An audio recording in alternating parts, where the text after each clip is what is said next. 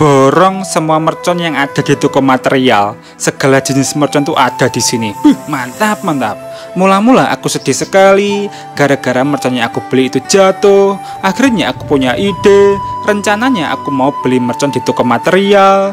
Ini banyak berbagai jenis mercon, mulai dari mercon gangsing, mercon elang emas, mercon happy flower, dan ini aku nggak tahu. Di sini jual barongan juga. Untuk bagian depan itu banyak berbagai jenis mercon juga, mulai dari mercon spiritus dan mercon aneh-aneh.